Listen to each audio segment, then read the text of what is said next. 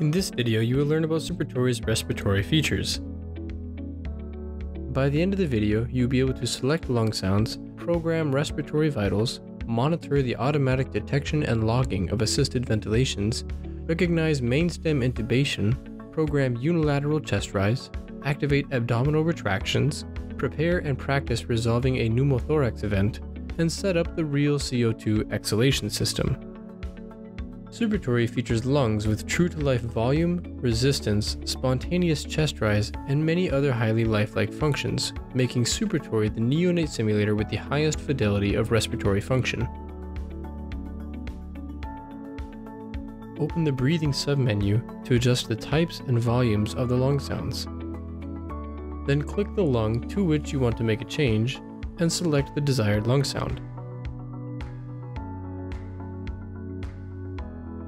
You can change the volume of the sounds by moving the slider to the left or to the right. By clicking the button next to Sync All Sounds, you can adjust both lungs simultaneously. To adjust the respiratory vitals like rate, inspiratory percent, pattern, or others, click the desired vital, then move the slider or type the new number.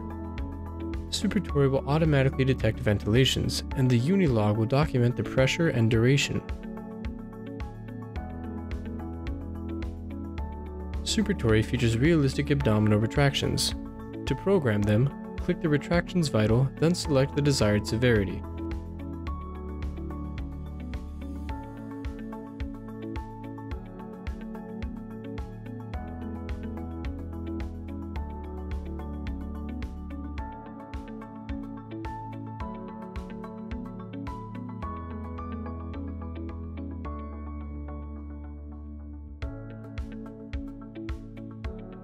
You can show a pneumothorax event by manually programming unilateral chest rise. Click the chest rise vital and click off. Super Tory has two mid-axillary sites for needle decompression and tube thoracostomy placement. The consumable inserts in the sites provide a realistic pleural pop during the procedure and will bleed during incisions.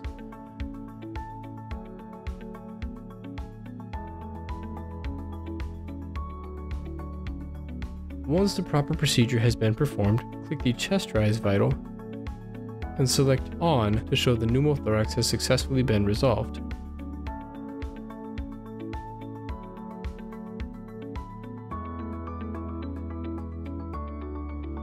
During tube thoracostomy procedures, the sites will bleed and provide for realistic suture training.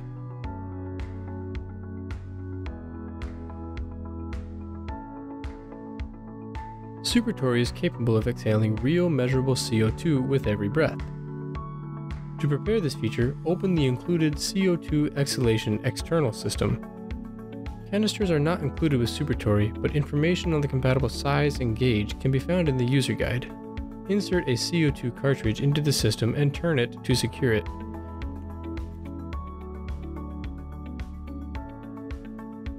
Close the system and attach the hose to the port in the left shoulder.